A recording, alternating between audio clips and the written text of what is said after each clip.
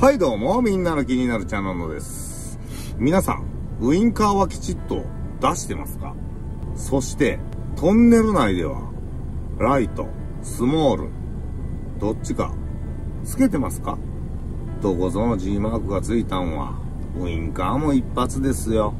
トンネルの中で、スモールすらつけませんよ。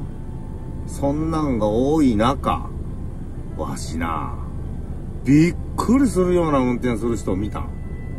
これは、本来、ええことを、わし、これから言うから、ええことをした運送会社、トラックなんじゃけど、名前を出してるとこなんじゃけど、SNS で発信して、ええ運転を発信したんじゃけど、いやいや違いますよ。その運送会社は他のとこではこんな運転をしてますよ。あんな運転をしてますよっていうような書き込みが、返信が返ってきたことがあって、あ、これは、ええことをしても、ええことをわしが言うても、なあ、結局、そうやって返信が返ってきたら、それをみんなが見るわけじゃから、もうわしが言うた意味がのうなるけ、もう、ええことをどんどん言ってきてんじゃけど、運送会社はちょっともう、言うのやめようかなと思ってます。あの、いらんことなんよな、結局な。いや、それは、情報としてはまあ、あるんかもわからんけど、わしがええ運転、ええ、この運送会社はええマナーですよっていうことに対して、他のサイトではあそこの運送会社はこんなクソみたいな運転してますよ、あんなクソみたいな運転してますよ、みたいなことを書き込まれると、さすがにな、もう勇気も失せるよ、ほんまな。ってな感じで、某岡山の運送会社。それかな。あのー、初めに言うとくよ。G マークなんかついてませんよ。あの、黒キャビンな。黒キャビンに赤塗りシャシーよ。なあ。ほいで、ホイールはギラギラな。わかる？ほいで、ほれ、冷蔵、うーん、冷凍かもわからん。まあ、冷箱と言われるものじゃ。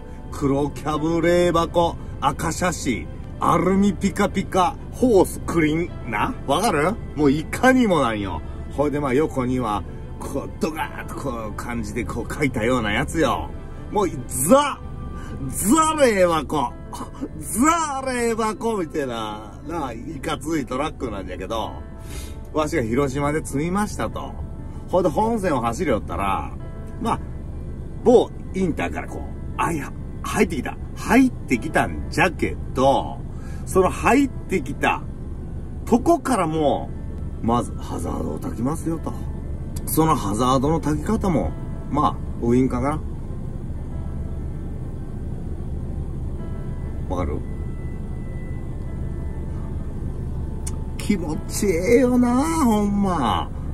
まあ、わしもちょっとまあ、排気をかけて、な、こう、間をぐーっと開けてあげた。ほんなら、まあ、いかにもな。わ、嬉しいなと思って。こんないかついトラックが、もういかついのが入ってきたなって感じだったんやったな。ほいで、そっから、広島から岡山まで、ずーっとわしその後ろは走るた。ずーっとな、車線変更したら、わしもまあ、後ろに車線変更して、ほんで戻れば、また戻って、っていうようなことを繰り返し、で行きよったんだけど、その運転手さんにわしはもうほんま、涙が出そうになった時があって、そのウインカーっていうのは必ず10回炊くんよ。その前の冷箱がな、ザ・いかつい冷箱がな、10回ウインカーを炊いて車線変更しますよ。な。ほいで、後ろからこう、速い乗用車がまあ、追いついてきました。ほんならハザード炊くんよな。ええー、と思って、ほいでまあその後ろにまた足が入っていきますと。ほいで、本線、あの、走行車線に戻るときも、ハザード10回ぐらい炊くん。もう10回グレーというより11回炊いたり、最低10回なんな。ほんで、ゆっくりゆっくりゆっくりバスみたいな運転するんよ。この人はどうしたん思うて。わしも、まあ、こう、後ろついていきよったら、おのずとな、こう、一緒に真似するように、ついていったんだけど、そうしよったらな、ものすごいぐわーっと下りになったんよな。下りになったところで、ものすごいスピードが出ました。わしもまあ、何キロとは言えないけど、まあ、まあまあ、スピードが出、出、出ましたと。その後ろ、まあ、ついて行ってましたと。ほんならな、前のその冷箱が、急にハザードを焚くんよな。その、まあ、結局、車間はだいぶ、わしも下りでスピードが出た時開けとったんだけど、その前っていうのが見えんかって。ほんならな急にハザードをパッパッパッパッパッパッパ焚き出して、右へちょっとずつちょっとずつ寄っていくんよな。おーと思ってパッと見たら、あの、左路肩に乗用車が止まっとったんやな。それは故障しとったんやと思う、多分な。その、事故とかではねえはず。なんもおまわりもこうだもまだ来てねえ状態で、路肩に止まって、ちょっとほ、もうまあ、路肩の狭いとこで、本線の、あの、一番左の白線からちょっと出とったわけよ。うーわと思って、これ後ろに配慮したハザード焚けばやっぱり、んって後ろの人間と思うから、なあ。ほんで、あうわ故障車がおるとことパッと見て、うしきょらんわしもハザード焚いて、な。